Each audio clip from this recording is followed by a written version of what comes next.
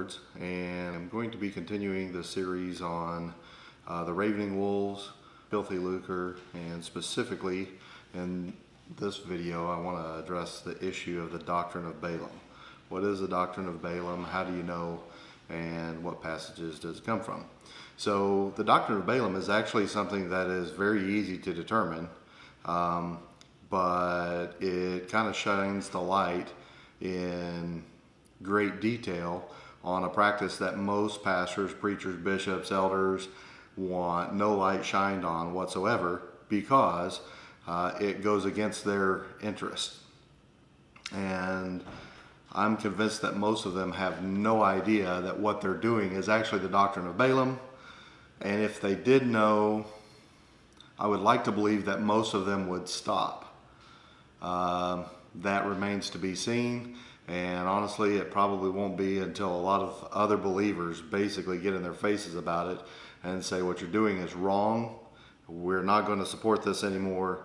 You need to start following a Paul principle or a Paul rule and go get a job, earn your own money, kind of thing.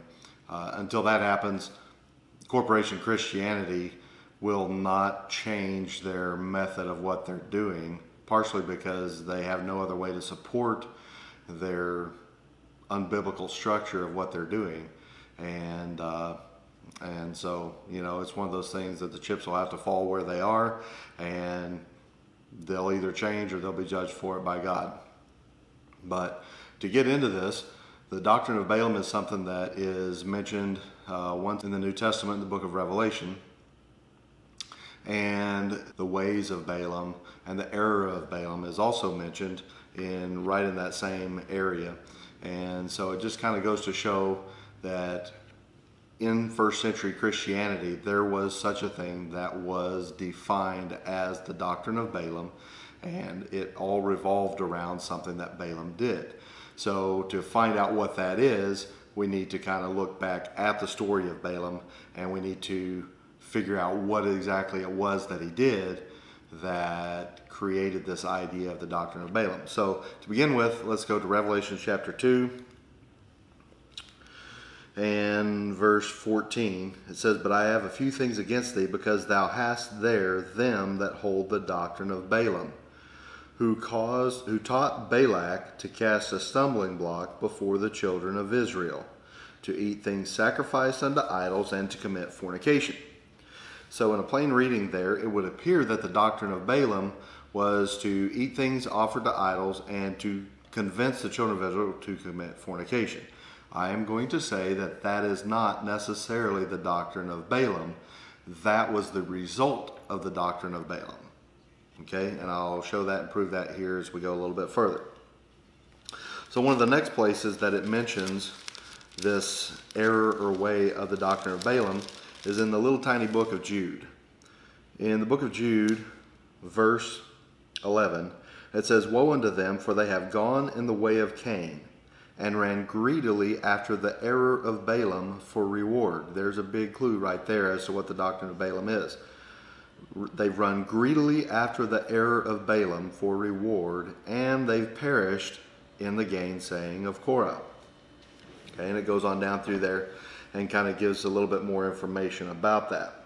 Okay, so the third place that you find this idea of the way of Balaam, the doctrine of Balaam, the error of Balaam in the New Testament is in 2 Peter chapter 2. Um, and verse 15, which have forsaken the right way and are gone astray, following the way of Balaam the son of Bosor, who loved the wages of unrighteousness. Now, this is very important. And you saw in Jude that they ran greedily after the way of Balaam for a reward. They're doing what Balaam did specifically for the reward. So, for many of you who know the story of Balaam and the children of Israel, uh, I'm not going to go through it, but I do want to go back and look at that story because that gives us the the framework for what Balaam, who Balaam was, what he did, why he did it, and what the results of that were. So if you have your Bibles, if you'll turn back to Numbers chapter 22, Numbers chapter 22 through 24 gives the story of Balaam, how that Balak was the king of Moab. and all of Moab was concerned and worried that the children of Israel were going to just swallow them up like ants and grasshoppers. And so they're trying to figure out exactly what they're going to do with these people that have come up out of Egypt in the Exodus. And it looks like they're just going to just wipe Moab out. And so Balak ends up and he comes up with the idea of getting Balaam, who was a prophet who undoubtedly had a connection with God and Balak was going to pay Balaam to curse these people, and by doing so, he was hoping that that would remove the threat to Moab. So if you look in, in Numbers chapter 22, you'll get a lot of that story that I just gave you, but it's really interesting to me. In verse 6, Come now, therefore, I pray thee, curse me this people, for they are too mighty for me. Peradventure I shall prevail, that we may smite them, and that I may drive them out of the land. For I wot, or I know, that he whom thou blessest is blessed, and he whom thou cursest is cursed. So Balaam has this reputation. And the elders of Moab and the elders of Midian departed with the rewards of divination in their hand. That's a key phrase. The rewards of divination in their hands. And they came unto Balaam and spake unto him the words of Balak and he said unto them, Lodge here this night, I will bring you word again as the Lord shall speak unto me. And the princes of Moab abode with Balaam. So it's interesting when you look at this. Balak sends these rewards of divination to Balaam. And if you follow the story, you've got this really inter- interesting story where this dumb donkey speaks and rebukes Balaam because Balaam is going and he has every intention of cursing these the people of Israel. And as you follow through the story, chapters 22, chapters 23, chapters 24, it goes through and there's several places where Balak has taken Balaam up on these mountains to curse. And every time God says, no, you can't curse them. All you can do is bless them. And Balaam does so. And he's really making this Balak mad. Makes him very mad until you get to Numbers chapter 24, and you have this prophecy that Balaam speaks about Christ coming out of Jacob, etc. And chapter 24 ends with, um, And Balaam rose up and went and returned to his place, and Balak also went his way.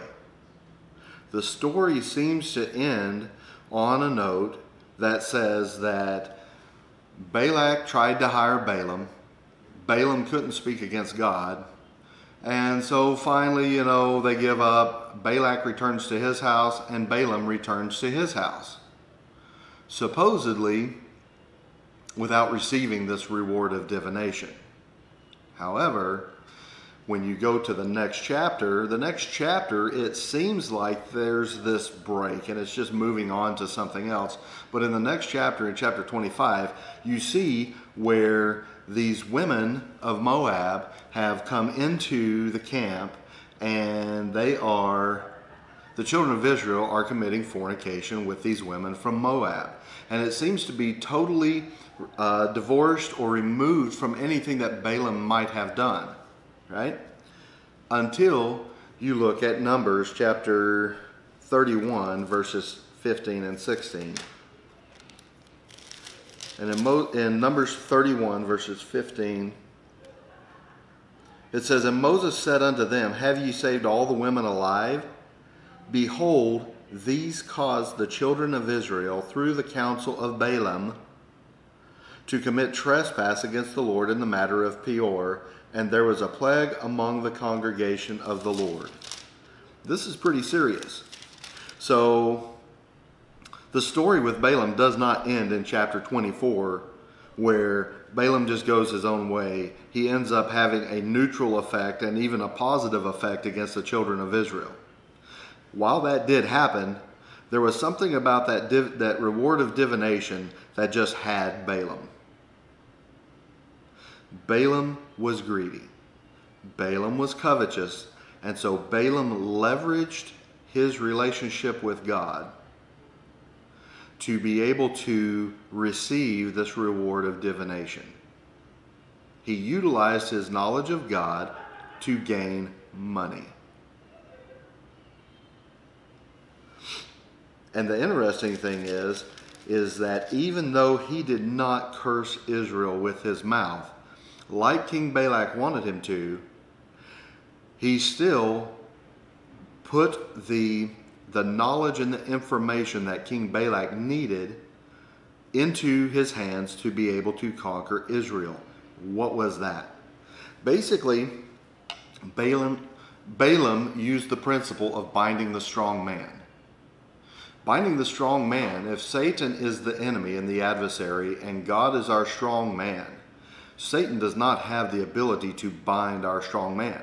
Satan does not have the ability to curse us as believers in Christ. He has no power. But the idea of binding the strong man, Satan cannot bind the strong man. But God, our strong man, binds himself to blessings and cursings. If we obey, blessings. If we disobey, curses.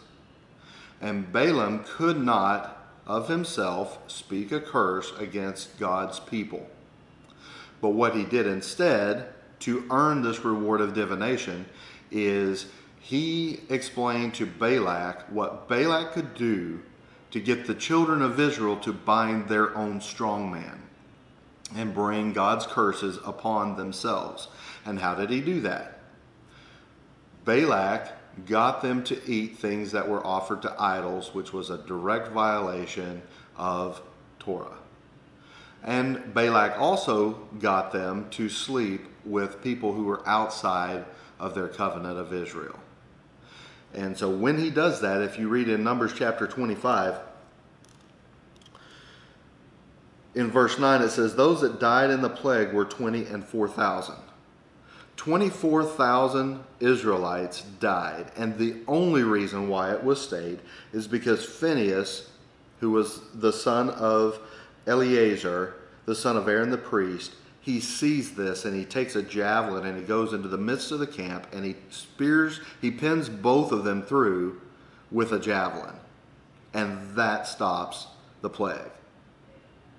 This is a pretty fast spreading plague. If he had not done that, God only knows how many people would have died because Balaam loved the wages, wages of unrighteousness. And Balaam took his relationship and his knowledge of who God was and what it was, and he exchanged them or he leveraged them for money. That's the doctrine of Balaam. When you take what you know and your relationship with God and you leverage that into filthy lucre. Money that you should not have for something that you know or something that you can do that's directly related to God. Now, with that being said, turn back to 2 Peter chapter 2 verse 1 There were false prophets also among the people, even as there shall be false teachers among you, who privately shall bring in damnable heresies.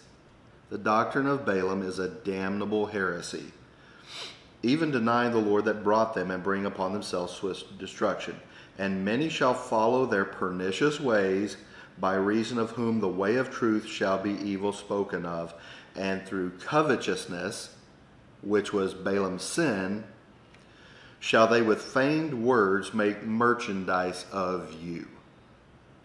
God's people. Long and short, you look at corporation Christianity today, or any assembly that names the name of Christ, and someone is leveraging who they are, what they know, as a position of authority, and they basically have become a hireling and they receive wages and salary for their service that they perform for you before God. That is not a first century principle. That is not anything that the first century Christians practiced. And maybe in the next uh, video I'll get into Paul because that he becomes the he becomes the poster boy and the writer in the New Testament that everybody goes to to prove why the bishop, the deacon, the elders should receive and should be subsidized for what they do in their labors in the ministry for the assembly. I'm sorry. It is a doctrine of Balaam and it is a damnable heresy. So, with that being said, if you've enjoyed this, stick around. There's more to come. There's a lot more in here. In the last series of videos, I set the foundation for um, for how the priests were considered robbers and what that was all about. In this one, I've I've shown the doctrine of of Balaam and what it involves.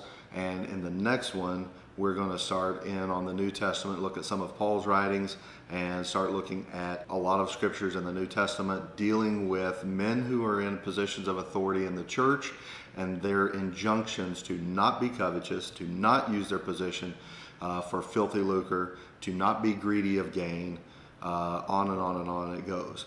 But rather, they're to labor with their own hands, and that Paul that that is what Paul has taught them to do not to use any kind of position of, of authority that they have to be able to take from their brothers. Okay, so if you've enjoyed the video, hit the like button, hit subscribe, and and uh, the bell so you can get alerts whenever uh, we put out a new video. Okay, God bless you. Have a good day.